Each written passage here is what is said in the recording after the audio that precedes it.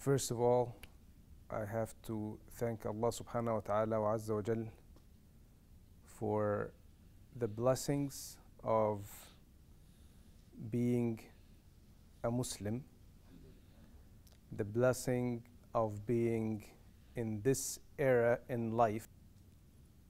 There is nothing in this world that is more important and more dear to anyone's heart like the Quran. Young Hufad here in America, Allah had blessed you.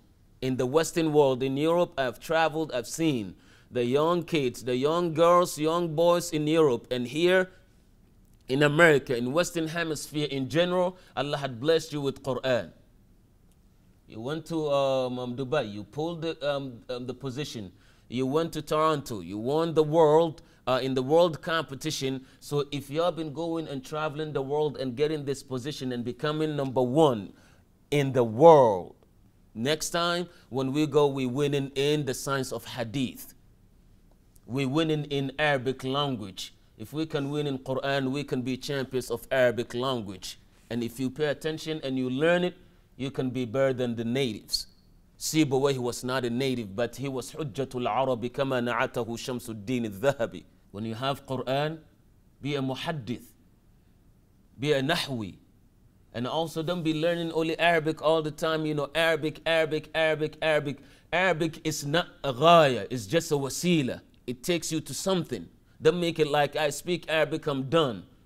Uh, speaking Arabic makes you so special that you're done. Abu Lahab and Abu Jahl will be the best of the Ummah because nobody speaks Arabic today like them and remain professionals. He's going to school soon, he will be a dentist, right?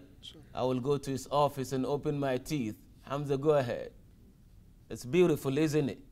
A professional, a hafiz, a muhaddith, a qari, a muqri. Not just a qari, make sure you pursue the path of being muqri. So try your best. Allah gave you that best gift. Don't sit down and waste it. If you have a key to Lamborghini, but you don't know how to open the car, that Lamborghini is trash, isn't it? I ask Allah subhanahu wa ta'ala to bless Hamza, to bless him and his parents.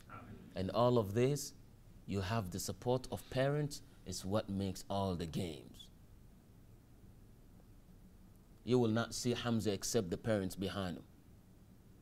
You will not see Mundhir except the parents behind him.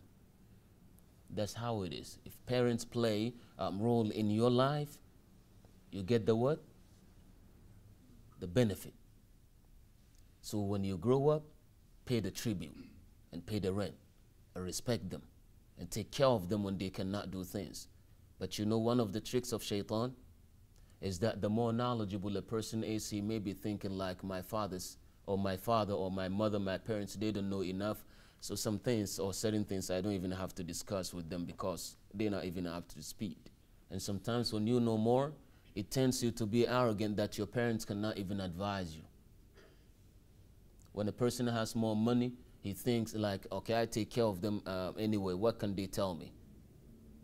Never do that. If you do that, your wealth is gone, even if you have billions.